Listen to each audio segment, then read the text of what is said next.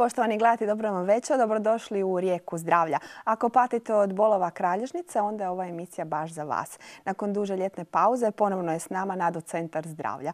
U našem studiju pozdravljam osnivača i direktora Nado Centra zdravlja, gospodina Bernarda Nikšića Nadu. Dobro večer. Evo, dobar večer, poslije četiri mjeseca koliko. Da, vrijeme je prošlo. U šestom mjesecu završila naša šema. Evo sad u desetom ponovo smo u emisijama Rijeka zdravlja i drago nam je što ste ponovo s nama. Evo sve, sve vidim isto, jedino se voditeljica pomladila i, i evo... Hvala. Hvala, drago I figuru dotjerala. Malo, moramo. Gospodine Nikšić, što ima nova kod vas u Nado centru? Pa evo, moram reći, kreće ovo neko zimsko doba, kad je zimsko doba, e, mislim zimsko, e, vremenski, kad je južina, to osjete opet e, osobe koje imaju inače neke reumatske tegobe, probleme. Iako je vrijeme lijepo i, krasno, međutim, ljudi koji imaju inače takvih problema, njima se pojačaju. Čak evo reumatski artritis ili bolovi u leđima, pa čak i vrtoglavice imamo dosta pacijenata sa tim, tako da ovaj, bez obzira što je vrijeme krasno, e, tim osobama nije krasno, evo da tako kažem. A što je razlog? Šta, po ljeti se više krećemo, više smo na suncu? Pa jednostavno ovaj, ima da više energije, tijelo ne reagira tako kao kad dođu ove, sad su noći hladne pa počne magla biti pa to jedno vrijeme koje jednostavno ljudi reagiraju na takve mm, e, vremenske, nećemo reći, prilike, evo preko dana dođe. Ovaj sunce zaista je toplo i kao u sred ljeta, međutim mhm. ovaj drugi dio dana, noći ovaj, osjete. Ali kaže da je nezdravo ovo vrijeme. Pa je, da li je nezdravo ili, ili je zdravo, ja ne znam. Meni je uvijek svako vrijeme zdravo, ali ovaj, možda nije uobičajeno ovolika vrućina jel, tokom devetog mjeseca, ali sigurno da je ljepše nek da nas sam pucaju neki gromovi i kiše i e, sigurno da je ugodnije kad je toplije. Mi smo komplicirani pa nikad nam nije dobro. Evo, danas ćemo dakle u emisiji govoriti o bolestima kralježnice. E, slobodno pozivam naše gledatelje da nas nazovu. E, naime, otvoreni su naši telefoni 060 Ukoliko nas nazovete, postavite nam pitanje, kažete nam svoju dijagnozu ili svoj problem i gospodin Nikšić procijeni da ste vi pravi kandidate za ovu terapiju koju on provodi, dobit ćete prvi pregled i prvi tretman besplatno. Dakle, e, slobodno nas nazovite, bit će nam drago čuti što vas muči i nastojat ćemo vam pomoći. Nado centar zdravlja, e, moramo reći, djeluje već 13 godina, ako ne već i 14 u Hrvatskoj. Ja to više ne smijem ni računati, ovo je nešto, to ide brzo. Tri godine ste u Rijeci, na Škurinjama. Najpoznatiji ste po rješavanju tegoba s kralježnicom i to inovativnim metodama, do sad nepoznatima na hrvatskom tržištu. Pa sad su već evo poznate, imamo već nas puno i kopiraju i tako dalje, što je na neki način znak da je ono što radimo da vrijedi. Tako da postaje to sve uobičajenije i ta naziv i dekompresijska terapija kralježnice koja je bila čudo kad se na to prije 13 godina počeo prvi puta uopće pričati o dekompresijskoj neoperativnoj terapiji. Svi su ono što je to, sad je to postalo na neki način evo, već uobičajeni termin. Mhm. Dekompresija to je na neki način rastezanje? E, imamo, imamo dakle i operativnu dekompresiju, ne mi. E, dakle, to rade e, kirurzi, neurokirurzi, koji onda odstranjuju operativnim zahvatom kompresiju na živcu. Mi to radimo neoperativno, dakle rastezanjem, ekstenzijom na trakcijskim stolovima gdje pokušavamo upravo tim jednim razlikom tlaka uvući e, sadržaj koji je izašao iz ovog diska kao što je recimo ovdje prikazano na ovom modelu. Dakle, on se može ili ovaj, operirati pa se odstraniti. E, kompresija znači da je to pritisak na živac. Mhm. A, a mi radimo dekompresiju, dakle da oslobodimo pritisak jel, mhm. sa živca. Gdje ste vi ove metode prvi puta vidjeli? Otkud su te metode došle? Pa ovako, znate šta, bile su te trakcijske metode 50 godina, znate, ovaj, su na neki način prisutne. Međutim, onda nije bilo takve tehnologije, nije bilo možda nekog razumijevanja tolikog, pa je to sve bilo onako, da ne kažemo koji srednjeg vijeka. E, isto tako vratnu kralježnicu se radilo na sjedeći, pa se to vuklo, pa razvlačilo. Međutim, e, sada se to bitno usavršilo jel? i najviše te terapije su radili Amerikanci. I u Americi se i sad radi, Kanadi najviše nekako je to zastupljeno u Europi pomalo onako, Europa je uvijek kruta, malo onako stara dama što se kaže, pa to sve nekako teže ide u, u, u, znanstvene, da kažemo, krugove. Međutim, sada kako sve više i više ovaj, postaje to uobičajeno, evo ja imam u Zagrebu i sada mi dolaze i sami kirurzi na, na ovaj, naše terapije ili šalju svoju evo, i djecu čak ili rođake, što znači da polako e, prihvaćaju ovo što mi radimo i polako priznaju e, e, ovu metodu. Mi malo drugačije radimo nego što to rade Amerikanci, jer probamo nekako u što kraćem vremenu napraviti što više. Oni to, moram reći, prilično razvlače, pa još onda to kod njih i košta mi probamo, probamo dakle većinu riješiti u nekih 5, 6 tretmana, 10 tretmana. To ne znači da se nekog ne može u dva, a da nekog moraš raditi 20. Mhm. Ali pričam ne, nešto, 80% je unutar ovoga. I imamo osobe koje ne možemo jel, riješiti jer je takav neki problem da se ne može ne operativno, nego se naprosto mora operativno. Jer nam nažalost često dođu već u nekim zadnjim fazama kad je stvarno prekasno pa još ono ajde probat ću i ovo da, da ne moram ići na operaciju. Dakle većinu i njih izvučemo ali ne uvijek. Ja. Mhm. Kod kojih stanja vi pomažete da kako bi naši gledatelji mogli eventualno prepoznati svoje tegobe? Pa mi, mi prvenstveno e, radimo dakle, probleme vezane uz kralježnicu. To ne znači da ne radimo i neke druge e, probleme u fizikalnoj fizikalne tretmane, dakle kao ove uobičajene koje inače se ide. E, ono od elektroterapija, ultrazvuka i sve to skupa.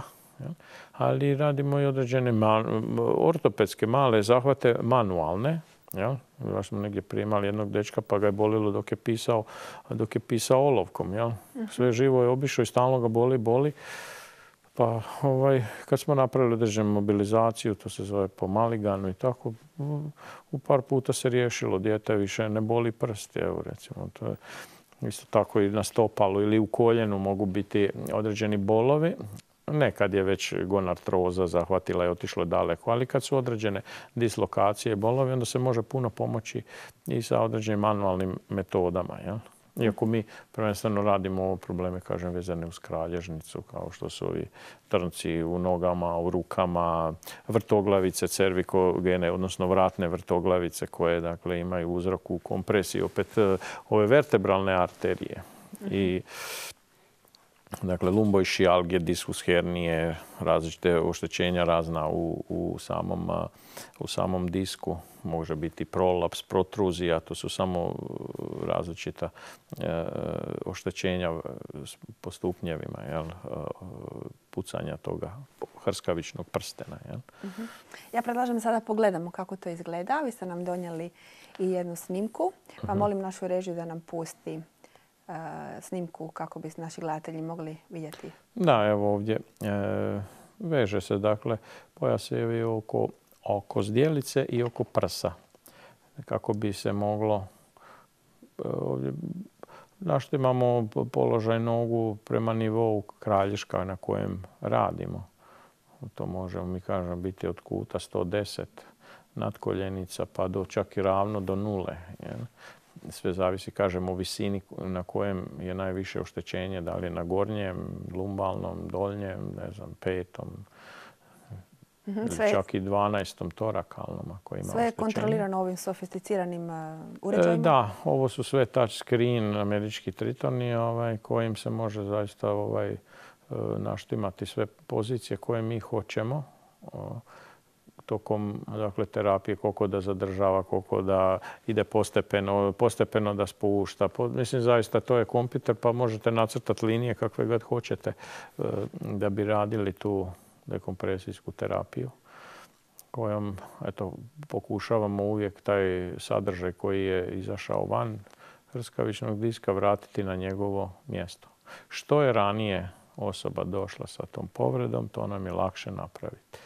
To su brži rezultati. Često, mhm. da, pa čujemo neka često komentare liječnika da joj ne, onda se ne smije niš dirati kad se smiri, ne obrnuto. Ovaj. Kad se smiri onda je već prošlo, kako bi rekao, ako se smiri.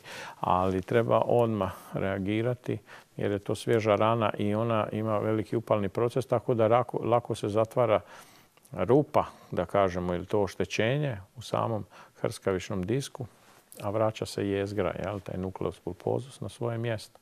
Ovo je i 3D, e, ovo je nemamo u rijeci stol kojim se može evo vidite, pozicionirati lateralno, rotacija, dakle da potpuno otvorimo spinalni kanal, pa onda povučemo kako bi on čak i, da utječe i gravitacija na, da nam potpomaže e, vraćanju kažem, sadržaja koji je izašao van hrskavišnog diska. Evo, to su to je specijalni stol isto kojim 3D Active Track kojim se može...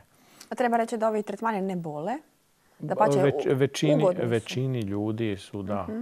ugodni. Sad ako su baš teške upale, velika skraćenja i tako dalje, e, poslije ima običnu reakciju onda i to uh sutradan, isto kao kad se trenira, a dugo se ne trenira, onda sutradan ovaj, mhm. se tek mišići naprosto ovaj, upale, bole i tako dalje. Tako nešto otprilike se ovdje dešava.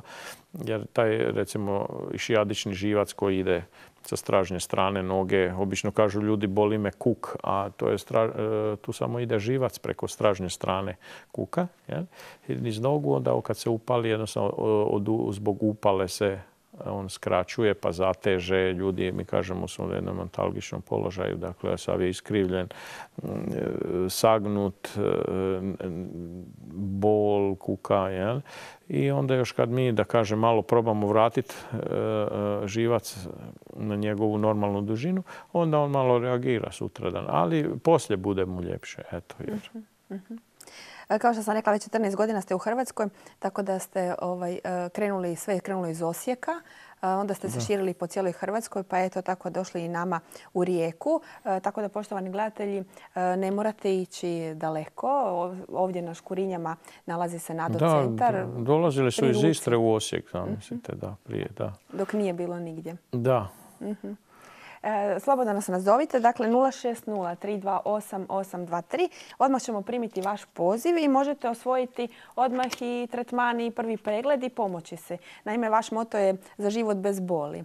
Pa evo ja ću biti sutra, to je četvrtak od 12, pa se može onda baš ko hoće, ne znam, do mene ako ima vremena, pogledat ćemo raspored, onda ovaj može doći ovaj do mene do podne se onda jedino treba naručiti da mogu, ovaj, da mogu odmah sutra primiti. Jel? Dođem obično četvrtkom poslije podne pa onda radim preglede. Ja inače obožavam diagnostiku i to ovaj, mhm. da probam uvijek razumjeti što je uzrok nekog bola. Uvijek mora biti zašto. Mhm. Uvijek. I nekada to zna biti statički, neki poremećaj. Neko zna imati kraću nogu, neko je određeni mišić ima ovaj lumborum, dakle stražni mišić leđa može biti e, više u spazmu pa ima nesimetričnu zdjelicu. E, tu dolazi do recimo skoliotičnog držanja pa onda vrat kompenzira pa na kraju čovjek ima vrtoglavicu a možda ima kraću nogu sata a da to nitko zaista uopće ni na kakvim pregledima ne gleda niti proučava.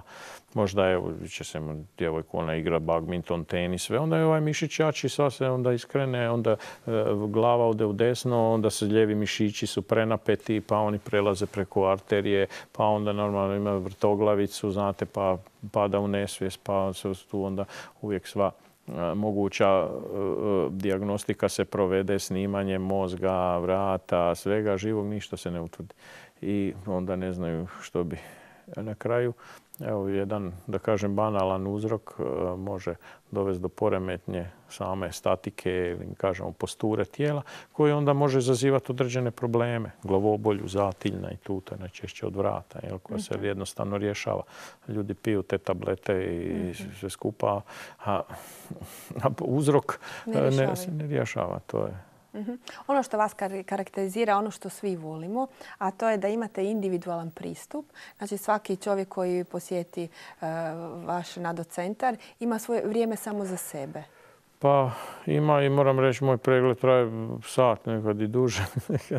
Onda mi kao, pa šta radiš ovaj, ali ja ne mogu dok sve ne razumijem, ne, razumijem, a s druge strane vidim često i drugih tu problema. Nekad, pa onda uđemo u svakake teme, ono što mislim zaista da je najpotrebnije. Nekada je tu e, prehrana je vrlo česti uzrok određenih reumatskih tegoba, pa možda čak i duhovni problemi i svašta. E, znate, kod čovjeka može biti uzrok njegovih nekih tegoba na koje možda ni, ni ne sanja da mu je to uzrok. Znate, samo naučeni su ljudi da će doktori sve riješiti, odnosno tablete. Kažem, to može biti nekad neko premosnica do nekog pravog rješenja, znate, a nije, rješenje naših, da kažem, svih tegoba ili životnih problema u tabletama.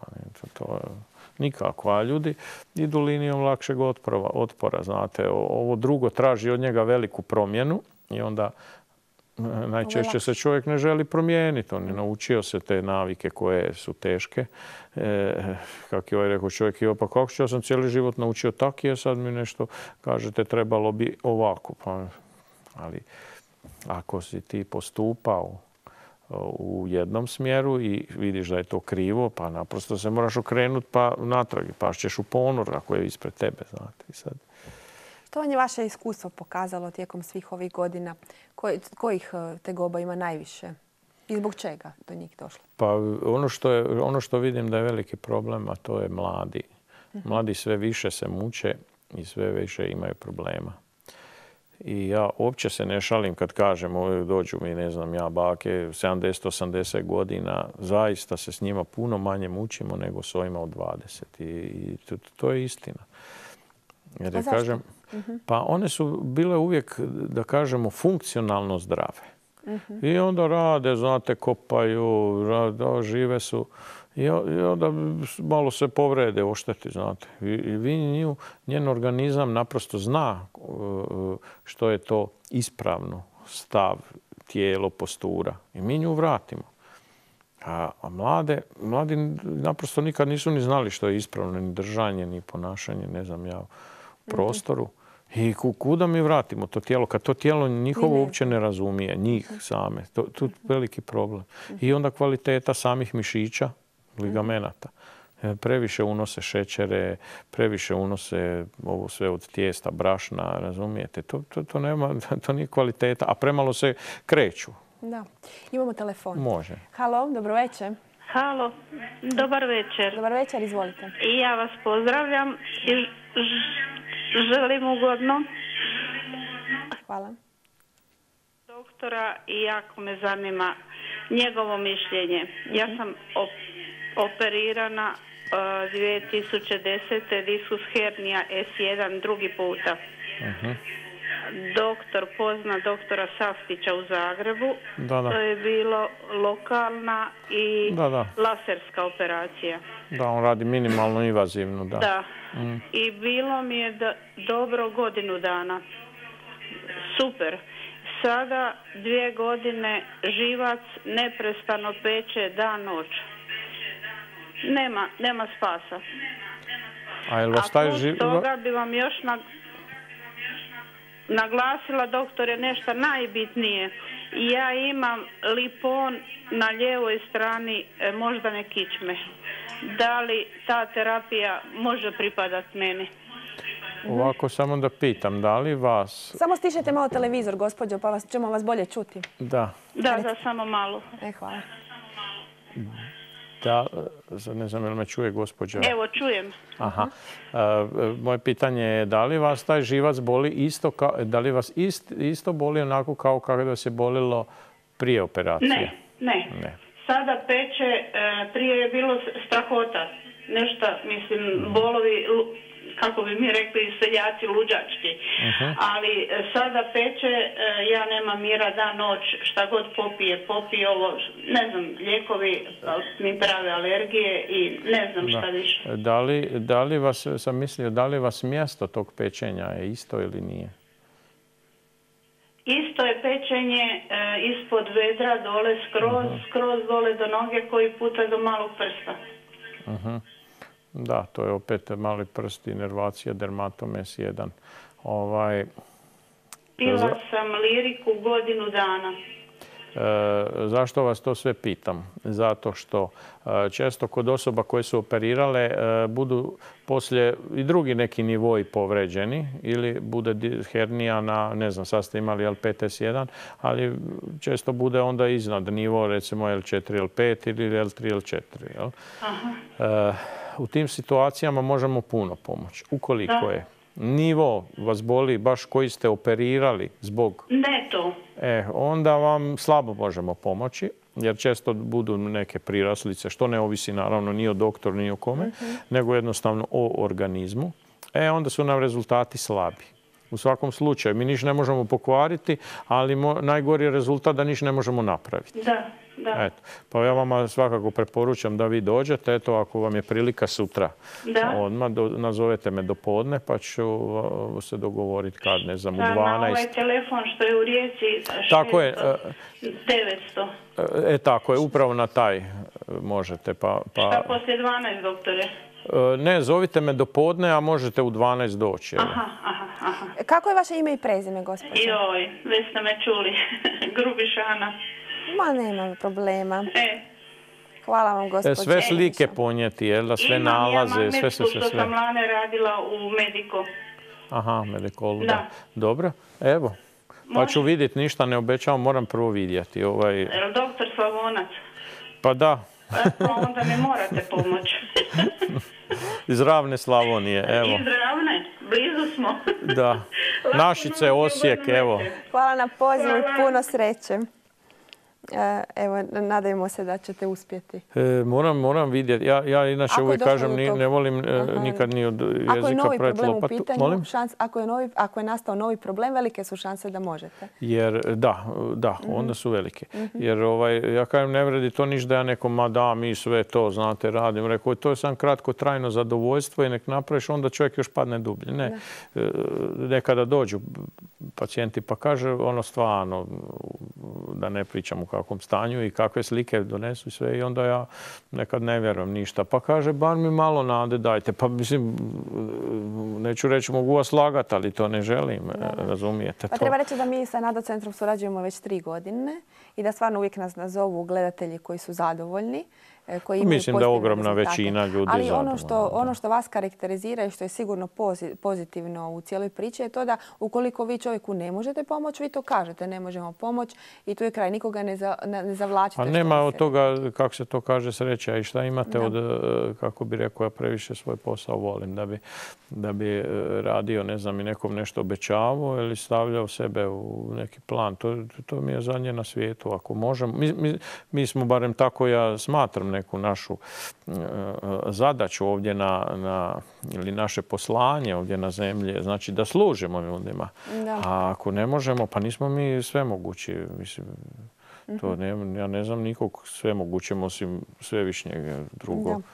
Znači, recimo, Nado centar zdravlja nalazi se u Rijeci, Škurinska cesta broj 1. Telefon je ovaj, kao što je gospođa rekla, 686900. Tako ćete dobiti baš Škurinje. Radno vrijeme ponedjeljkom, srijedom i četvrtkom od 12 do 20 i utorkom i petkom od 8 do 16. Tim da e, iskoristite svakako priliku da nas nazovete u studio. Dobijete besplatan tretman i prvi pregled. Naime, e, gospodin Nikšić je sutra u Nado centru na Škurinjama i moće vas on osobno pregledati, primiti i s vama popričati, e, što je sigurno e, prilika, je li tako, gospodine Nikšić? Pa Zašto e, klasična medicina nije ovaj, klasična, mislim, ova naša standardna, nije ovo prihvatila? Pa ne, nije, nije da nije prihvatila, mislim da nije prihvatila. Ne, ne, ne, ne rade to oni. Pa i nikada i neće, vjerovatno. Prvo, Nemaju vremena. Prvo je dekompresijsku terapiju ja gledam kao određenu vještinu. Mhm. Dakle, vi možete imati violinu i gudalo, ali to, to treba uvježbavati. to, je, mhm. to je prvi problem. U, u klasičnoj medicini prvo se nema uopće vremena. Vremena. Uh, mislim, koji će liječnik raditi sat vremena pregled. To je, to je prvi problem mhm. e, jer je pun hodnik jer on mora napraviti za 10 minuta, pogledati ovo, ono, sve to. znači, da. dakle, već su tu onemogućeni da, da rade onako kako bi trebalo. To je Još ćemo nekog primiti. E, halo, dobro večer. Dobro večer. Aha, nazovite nas slobodno, odmah ćemo vas primiti, nećete morati čekati. I onda e, drugi problem je, e, ipak ta terapija traje skoro sat vremena, znate, mi, mi staviš ono što i treba, da bude elektroterapija pola sata, a ne desetak minuta, jer pazite, vi morate jako puno vi morate jako puno, da kažem, e, e, rješavati e, pacijenata, ne znam, 300-400 koliko u ovim velikim fizikalnim, znate, državnim i tako dalje, gdje, gdje vi ne možete nego jednostavno, da kažem, industrijski, masovno možete raditi s njima. I onda morate kratko HZZO plaća malo, morate ih napraviti puno da možete ispuniti one sve norme, razumijete? I, I tu onda nema sreće, kako bi rekao, osim sa nekim manjim problemima, tegobama i tako dalje. Ali kad su ozbiljniji problemi kao to puknu dis, diskus hernija jel, ili prolaps, protruzija, gdje ljudi ovaj, praktički završavaju na operativnom zahvatu, onda tu se treba ozbiljnije s tim uhvatiti u koštac. Jer e, niti niti operativni zahvat, nije nikakva garancija da će to biti dobro. Možda evo jedan kraći period što je rekla gospođa i bez obzira što je to i minimalno invazivno i sve je to super, ali ne znači da će čovjeku biti super. Ne, nema, nema te garancije nikome, razumijete? Zato uvijek valja, uvijek valja prvo napraviti jednu neoperativnu dakle, terapiju.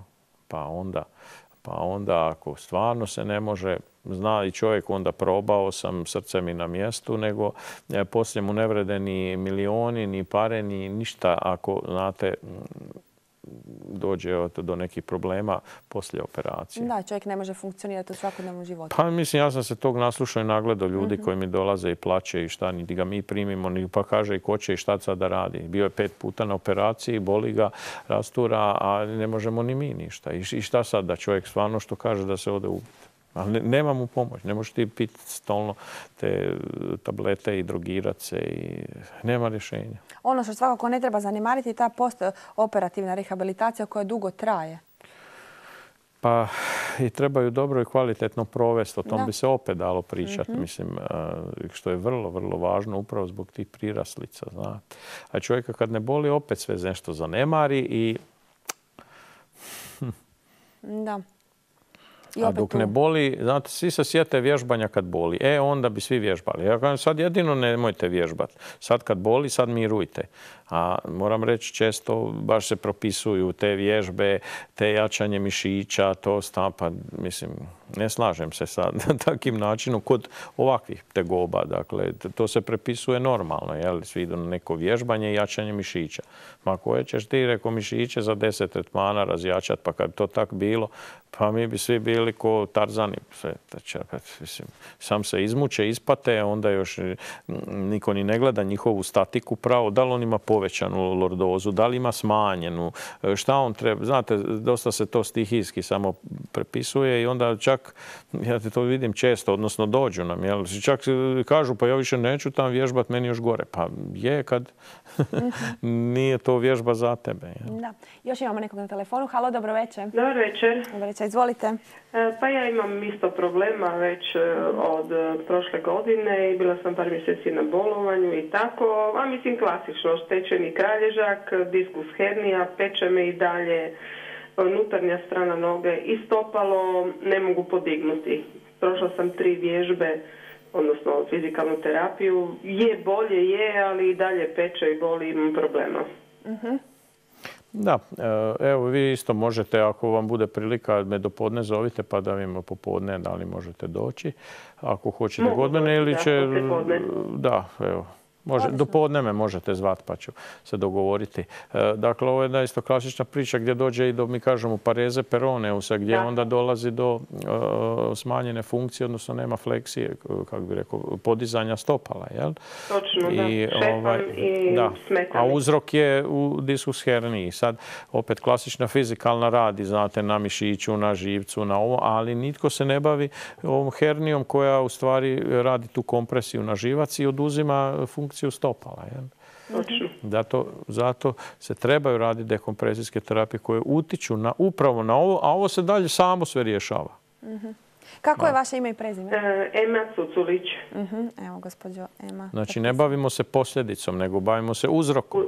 Da, u redu. To bi bilo jako dobro kad bi se nešto po tom pitanju moglo napraviti. da. Pa obično, obično nije problem, ali ono što ste rekli i uh, gospođi prije i, i ovoj gospođi savjetujemo da sve nalaze koje ima ponese sa sobom. Naravno, da. Dobro, hvala. Ja ću ponijeti i sutra se čujemo. Hvala na pozivu, sretno. Pozdrav. Naime, to treba reći našim gledateljima. Ništa se ne radi na pamet. Znači, potrebne su e, nekakvi nalazi, fotografije, rengenske snimke. Pa bolje nam je što kažem, onda smo pametniji. Iako se uvijek u puno, e, u puno iz pregleda se može shvatiti i razumjeti o, o čemu se radi. Jel? Ali ovaj, nekada kod tih e, teških, da kažem, ili kroničnih stanja, zna se, da kažemo tako, zavaliti ta, uh, ovo, je, ovo je jedna jezgra koja je inače unutar, možemo i ovo malo mhm. pokazati. Ali samo gospodine Nikšić, još imam jedan telefon, pa ćete može, nam Može, može. Halo, dobro večer. Padaju nam linije. Na moramo što prije primati telefonske pozive, jer očigledno imamo puno telefona, pa onda nam padne linija ovih koji čekaju. Znači ne gledaju svi ovaj Sulejmana i Hurem. Dobro. Evo, ovaj. gledamo na ovoj maketi kako to izgleda. Pa da, ovo su dva kralješka, ovo predstavlja disk između, ovo je živac, korijen dakle spinalnog živca koji ide, zavisi o nivou, jel da? Ako je neki u vratu, onda ide u ruke, ako je dole u lumbalno, ide prema nozi i tako dalje. Kako je gospođa rekla, mali prst, ako je peti živac, onda ide prema palcu, trnci i tako. Znači, mi, mi, mi tu ovako radimo, klimamo, saginjemo se i jednog trenutka, jednog trenutka, je ovaj bolje svi, znači jednog trenutka ispadne ovakav kao balon, vidite. I taj balon stiska jel, ovaj živac i sada vi možete trljati, kremat, e, raditi e, šta hoćete struje. To poboljšava samo malo ovaj e, spazam u mišiću. Jel? Jer mišić kad je u spazmu on još dodatno tiska živac. Jel? Pa onda ima osjećaj čovjek da mu je malo lakše kad se smanji sam još pritisak mišića na živac. Jel? Ali dok se ova situacija ne riješi, nema, e, e, da kažemo, bezbolnosti. E sad, organizam ima svoj e, mehanizam da to uvuče. Normalno, organizam želi staviti na početno stanje. I neko dobije inekcije i ovo ono kaže, ovo sad to mu je super pomoglo. Ma, ne, ne, tebi sto inekcija pomoglo da nije organizam uvuko e, natrag e, herniju, jer ima u nekim drugim fazama. Poslije kaže, e, prije sad više mi ni inekcije ne djeluju, pa zato što se ovo nije vratilo. I onda mi potpomognemo, dakle, jedan prirodni proces da, da se ta jezgra vrati natrag i nema kompresije na živac. Jer evo vidite što kaže gospođa, onda nema, padne joj stopalo, funkcija odlazi. E, tako dugotrajno neko stanje može dovesti do ozbiljnijeg oštećenja živca. Dakle, on, ta se situacija mora riješiti ili neoperativno ili mhm. poslije operativno. Mhm. ima li neku dob, granična dob pacijenta koji mogu doći kod vas ili svi? Pa mi smo imali jednog od 96 godina i njega smo popravili, tako da a od 10 godina recimo počnemo zato što je to neko dob kada radimo u djecu sa skoliozama i diopatskim, dakle nepoznatog uzroka, a ne radimo mlađe od 10 godina, tu, to se te prati još ako ovaj, ta skolioza, da li je to strukturalna, nestrukturalna, da li je sam skoliotično ili držanje. A onda, ovaj, onda ga polako radimo ako vidimo ili mislimo da bi trebalo zbog većeg nekog iskrivljavanja te kralježnice. Mhm. Treba reći da za eh, roditeljima djece koji misle da eventualno njihovo dijete ima neki problem, uvijek imate posebne popuste? Da, imamo te pakete i za umirovljenike i za kad čovjek, ne znam, uzme valjda pet paketa, ovaj, pet, terapija, jedna mu je besplatno, deset, valjda dvije, tako ovaj, ima tih. uh Ima li puno djece sa skoliozama? Pa, moram reći, e, mislim, ne znam e, ono definirati riječ puno. Mhm. E, moramo razlikovati u skoliozama. Imamo skoliotično držanje i strukturalne skolioze koje izgledaju ovako na prvi pogled isto. Međutim, ove jedne se daju ispraviti vježbama, ove druge ne daju. Znate. Sad ima dosta tih nepravilnih držanja, ne samo skolioza, nego i to kifotično držanje, znači sa rukama malo prema dolje, glava prema napred, pa znate malo udubljena prsa. Većina djece danas sjede uz računala, igrice, knjige, znate, pa to nisu neka sad tu ni pluća, ni kapaciteti, ni kondicije, kod većine djece onda još možda su malo pretili, puno se jede tih koje kakvih pizza i kruhova i kolača i sladoleda i sve ono što niš nije kvalitetno. I onda je rezultat, nažalost, isto ćemo doći kao i ovi u Americi ili tamo na zapadu. Dakle, mi samo s tim stopama idemo. Jel? E mhm. sad, da li će biti pameti pa da mi vidimo da u tom pravcu ne valja. Vidim da se puno čini i da se mijenja i oko te prehrane i djeci u školi što više mhm. voća i svježeg i sirove hrane. Jel? To je sigurno odličan put i puno, puno bolji nego ovaj, u ove šećere i u ta bijela brašna i mlijeka i to, to, to pravi velike probleme, mhm. nažalost. Mhm. Dobro. Da li postoje neke prepreke? Postoje li eventualno ljudi kojima ne možete pomoći? E, znači koji ne bi bilo dobro da rade terapiju kod vas? To je u slučaju malignih oboljenja? E, da, to je recimo situacija kada ljudi imaju karcinome ili su obično metastaziraju jel, karcinomi u, u koštani dio i tu onda, onda je nama to praktički kontraindikacija. Mhm. Jer e, jer mi onda, da kažemo, na neki način prehranjujemo e, taj karcinom. Jel? A ovaj, e, karcinom e, ne bi trebalo jel, prehranjivati jer mi, mi, mi prilikom dekompresije radimo detoksikaciju samoga diska gdje dovodimo znači, hranjive tvari, kisik, vodu. Dakle, mi njega oživljavamo, taj disk, a ako je tu metastaza, onda i njoj potpomažemo. Dakle, u tom slučaju to ne treba raditi. Mhm. Kolika je uspješnost terapije? Ste nekad e, radili kakva analize? Da, mi to stalno mhm. si pratimo. Jel? Pa sad ili kod nas dođu, ne znam nija kako, pa e, koji misle da im mi možemo pomoći, pa zato imamo možda veliki, veliku uspješnost, ali gledali smo oko 85-6% nam je lumbalni dio. Vratni, teško je reći, e, odnosno nema niko 100%, pričam sad za diskus hernije, u vratnoj kralježnici. Ja? E, to, nam niko nije završeno operativnom zahvatu sa diskus hernijom vratne kraljice koji je odradio terapiju. E sad, ovi koji imaju recimo osobe starije, pa to je već u velikom spazmu i teške degenerativne promjene, gdje ne možemo recimo raditi kilaže kakve hoćemo da bi riješili vrat zato što recimo boli temporomandibularni zglob ili ima proteze u ustima pa ne može izdržati neki pritisak, a nama treba velika kilaža da bi mogli ovo riješiti, a on to ne može podnijeti. Znate, to su neke tehničke stvari. Neka stavljamo one boksačke gume i tako dalje. To je na svu sreću rijetko, ali eto, to su neke ovako situacije kad e, možda ne možeš riješiti, možda i do nas nije, nego, nego naprosto je situacija tako. Mhm. A tržište je pretrpano savjetima e, različitih masaža, kiropraktičkih tretmana, namještanja atlasa. I možete nam mhm. usporediti ovu vašu metodu od ovih koje sam spomenula? Pa ovako, moramo znati da sve ima svoje mjesto. Mhm i masaža i ne znam, neka kiropraktika i namještanje atlasa i sve to skupa. Dakle, e, sigurno da nekome nešto pomaže. Samo treba znati točno ovaj, za koga je što, znate. Jer dođu ljudi kažu, o, meni je tamo pomoglo kod ovoga kaže, meni niš. Pa zato što nije. Ja nosim Kozmodix, meni super, on kaže, meni to bez veze. Pa, e, pazite, moramo uopće znati čemu to sve služi. Naravno, svi pričaju, znate, ono, e, ko ima bolove, ko ima ovo. Ali uzrok bola može biti različit uzrok.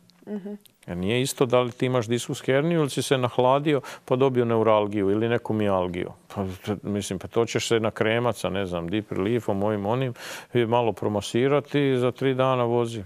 Mislim, sve je super.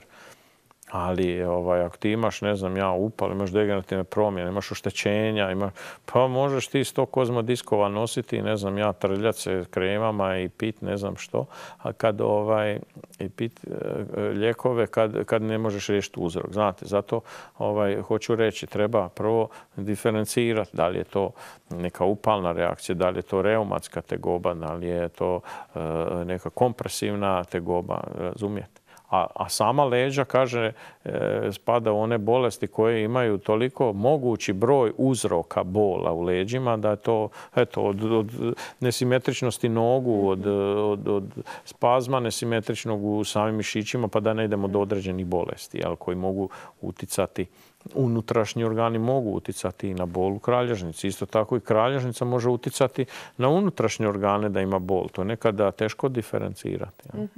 Ali evo upravo ono što vas e, izdvaja od ostalih je taj individualni pristup, razgovor i pa probamo, jasno, uzroka. Treba, tako je. Jer ovo kad ste vi spomenuli kozmodisk, e, da ne spominjemo sad, da ne reklamiramo ostale proizvode koji se putem nekakvih e, TV i web prodaja prodaju, to je dosta nezgodno. Ljudi to kupuju, a ne znaju ni što Pa sve, nakup, sve od, od masažnih stolica, mislim sve nakupuju te magnete, te ovo, mislim ljudi naravno traže rješenje i njih boli, vidi da tamo malo ode na fizikalnu, ne pomaže, pa proba ovu kremu, pa onu, pa čuje od ovog ono, pa ono je pomoglo ono, znate, i onda natrpaju tog svega, a na kraju dođu u nado centar da im napravimo. E, e, mislim, svako normalno proba nekako čuje, pa onda ima ove za napiravanje jastuci, pa, pa rekao ljudi, pa nismo izmišljeni da hodamo napuhani s tim jastucima. To može biti kratkotrajno nešto da premostiš, pa ne, čim pustiš opet si u istom problemu. I, mhm. Da. Mislim, a ljudi, znate, čuju, vide i onda odmah se, što kaže, zapale, naruče i onda im poslije bude žao. Mhm. Još nam je ostalo pet minuta do kraja emisije, tako da, poštovani gledatelji, još imate jednu priliku da nas nazovete. E, mi ćemo sad samo kratko pogledati vaše centre po Hrvatskoj koje sam spomenula danas. A nakon toga, evo, otvoren naš telefon, možete nas nazvati. E, dakle, režija molim da nam pustite centre, centre po Hrvatskoj, e, da ih pogledamo. Sve je počelo s Osijekom. Sve što je žuto. Sve što je žuto. U Osijeku najprije počelo, onda ste se širili zbog, vidjeli ste sami potrebu. Ovo je Rijeka, Ona je treća otvorena. E, da. Jel nam? Mhm. Pa mislim kad vidite koliko se ljudi na neki način muče, nije to lako organizirati ljude, opremu u današnje mhm. doba i u našoj državi koje neću sad sve to uopće spominjati, te sve probleme katastrofalne. Ovaj, ali hoću reći kad vi vidite da ljudi, ovaj, da to pomaže ljudima, da oni vape, da, da oni eto, su dolazili iz Istre, iz Poreća, iz Umaga u Osijek, razumijete, pod bolovima i onda koje su to sve, kako bi rekao, muke i tako dalje. A onda im se želite nekako približiti, obučite druge ljude, znate, posijati što kaže neko sjeme, pa, pa da, da ta priča e, bude ne samo i u Hrvatskoj, evo sad vam nešto zovu me i van i vamo tamo, pa sad to ćemo vidjeti. Ovaj, da ne mhm. budemo uvijek da mi samo jadni mali Hrvati sve uvozimo i ne znam ja što, da možda eto mi njima nešto ponudimo, bez obzira na silne njihove tehnologije, novce, a nije uvijek baš sve u tome, znate, treba možda nekad imati mudrosti i razumijevanja čovjeka, jer i oni se s tim, znate, muče, nije to samo ovaj, kod nas. I kod njih samo pusta tehnologija, znate, a, a najmanje opet vremena za čovjeka. Ali počet će se vrednovati to da se treba razumjeti čovjeka i da čovjek će htjeti platiti da ga neko sasluša i razumije, znate, nego samo da bude negdje neka brojka koju, svi samo otepaju i ne znam ja, evo, reži, odmah masakrira i ne znam ni ja što radi. Mislim, mhm. neće to htjeti ljudi. Našim gledateljima ste vi inovator. Pa dobro, ima ovaj... Više toga što sam ja. Da, mislim da. Mhm. Slažem, ali ja volim sve još i da se sve dokaže i da sve ovaj napravim. Pa, mislim, napravljeno je, samo treba sada još i da mhm. kažemo i nešto znanstveno dokazivati. A zato sve treba vremena, pa mhm. ja to sve šutim i radim, pa kad bude ovaj sve onako nešto što mislim da je zadovoljavajuće, da ću onda opet izaći. Ili opet posijati sjeme, što ja kažem, pa će neko to nastaviti ako ja odem gore, onda će neko ovaj, to mora tu nastaviti dole. Eto. Mhm. E još, mislim, niste vi otvoreni, vaša vrata nisu otvorena samo za one koje već probleme imaju, nego i za one koji e, zbog svog e, prirode svog posla e, ili nikakve fizičke predispozicije problemi bi mogli imati u kasnijoj dobi. Naime, vi ste osmislili vertebro lifting. To je na neki način wellness medicinski wellness, tako je, kralježnice, mhm. koji, eto, mislim da će postati u budućnosti nešto potpuno normalno, mhm. jer ljudi, ljudi e, neki ne žele da imaju probleme sa kralježnicom, znaju da sjedi puno u autu, sjedi u uredu puno, pred mhm. televizorom, jel, evo, gleda kanal RI, sjedi, opet će ga boliti leđa. I onda ovaj, isto kao što idu ljudi sada u neke fitness, u teretane i ne znam, bave se određenim pilatesima i tako dalje. Dakle, smatram da će i taj vertebral lifting, a to je isto tako jedna E, e, trakcijska terapija, dakle, ali preventivna koja se radi u svrhu preventive dok da se sačuvaju e, kvaliteta tih diskova. To ćemo kako se budemo ovim emisijama sada odružili jednomjesečno pa ćemo uvijek uzimati jednu temu i više objašnjavati. Dakle, vrlo je važno isto tako kod djece u pubertetskoj dobi koji se bave sportom da to isto rade. Pa ja smatram da svaki imalo ozbiljniji klub treba ovaj, e, treba imati e, takav jednu metodu da bi toj djeci spriječilo to oštećenja koja su im, da kažem, neminovna. Mhm, u vrhunskom sportu. Pa da, jer oni imaju treninge sad svaki dan ko profesionalci, neka mhm. djeca i po dva put dnevno treninge, što, što u fazi razvoja i rasta same hrskavice, dakle diska, radi velike deformacije. I oni ne moraju odmah imati bolove, ali imat će poslije. Jer, meni to dolaze slike e, i to su slike e, staraca, mhm. doslovce. Mhm. Dakle, ljudi mladi ovaj, donose e, takve slike kralježaka i diskova degeneriranih da to čovjek ne može vjerovati. Kako bi se trebao raditi taj wellness tretman? Jednom pa e, e, ne smeta, molim? ne, to bi barem tjedno trebalo jednom. Zato kažem, tu bi trebali klubovi, imate stolove, da, da djecu stalno, znate, da se ti diskovi pumpaju, da tako kažemo. Mhm.